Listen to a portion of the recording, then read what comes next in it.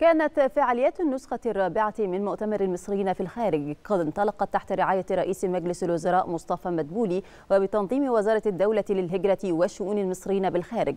وتشهد النسخة الحالية من المؤتمر حضور نحو ألف شخص من المصريين بالخارج من 56 دولة حول العالم. إلى جانب مشاركة عدد من الوزراء وأعضاء مجلسي النواب والشيوخ وكبار الشخصيات العامة. ويناقش المؤتمر في نسخته الرابعة عددا من المحاور الرئيسة. المحور الاقتصادي والاستثماري المحور السياسي والتعليمي المحور الاجتماعي والخدمي.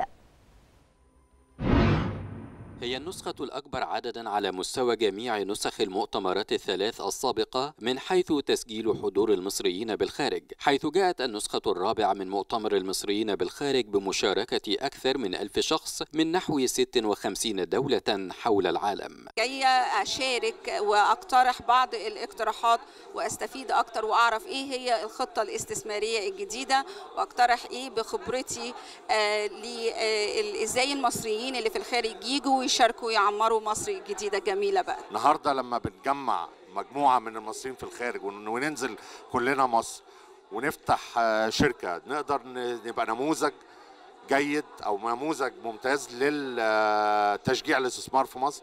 إن شاء الله الشركة دي هتتخصص في تخصصات تساعد الاستثمار وتبقى نموذج ناجح لل تشجيع الاستثمار في مصر. كلنا بكل فخر بندعم القاده القيادة السياسية وتوجهات فخامة الرئيس وحثه على المصريين في الخارج في الوقت الحالي اهتمامه بأبناء الوطن في الخارج والداخل ده ادانا مؤشر والحافز إن إحنا نيجي باستمرار المؤتمر الثاني والثالث والرابع ولو في الخامس كمان. المؤتمر يعكس وصول جهود الدولة إلى المصريين بالخارج في كافة دول العالم كما يعكس رغبة المصريين بالخارج في التواصل مع دولتهم وثقتهم بها حيث يمثل المؤتمر الأمر فرصة لاستعراض طلبات واحتياجات المصريين بالخارج والاستماع إلى اقتراحاتهم. في إطار الرؤية الجديدة للجمهورية الجديدة للدولة المصرية في 2030 وتحت رعاية فخامة الرئيس إن المصريين بالخارج يحسوا إن هم ليهم دور في صناعة القرار وفي التوصيات الجديدة ده شيء مهم جدا جدا. المصريين بالخارج وطنيين جدا جدا بيحبوا بلدهم قوي قوي أول ما بلدهم تقول لهم إحنا محتاجاكم أنا محتاجاكم المصريين بالخارج بيلبوا الندى فورا. كل مرة باجي مصر طبعا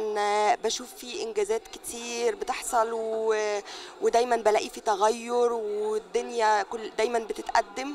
وطبعا بشكر الدولة المصرية إن هي بتعمل مؤتمر للمصريين في الخارج. فرحانة جدا إن أنا قادرة أشارك في في المؤتمر ده بالذات إن أنا أكون شابة وإن أنا أقدر كمان أسمع أفكار الناس التانية.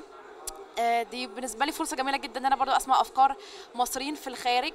وتبقى يعني أنا فرحانة جدا إن أنا أقدر كمان إن أنا حتى أشوف المصريين بالخارج عشان دي فرصة مرة في السنة إن كل المصريين بالخارج يتجمعوا هنا في القاهرة. في مبادرة قد قد قمنا بتقديمها للوزارة وجاري دراستها وإن شاء الله رب العالمين جاري تطبيقها بإذن الله رب العالمين خلينا سند لبعض.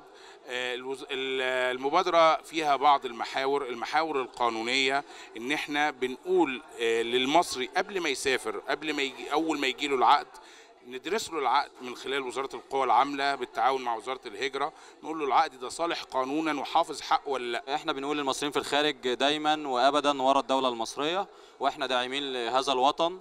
ورغم بعدنا من المسافات لكن إحنا طول عمرنا متواصلين وإحنا الجسر بين بين الجيل الأول والجيل الثاني وإحنا مهتمين جدا بكل الإنجازات اللي بتحصل في عهد القيادة السياسية الموجودة حاليا. النسخة الرابعة من المؤتمر هذا العام توسع من نطاق مشاركة كافة المواطنين بكل بلاد العالم والبناء على المنجزات التي حققتها النسخة الثالثة من المؤتمر العام الماضي حيث أصبح مؤتمر المصريين بالخارج الوجهة الأولى التي تعبر فعليا عن كل مصري بالخارج وانعكاس لتطلعاته وآماله وتحقيق طلباته واحتياجاته بما يقربه أكثر لوطنه الأم.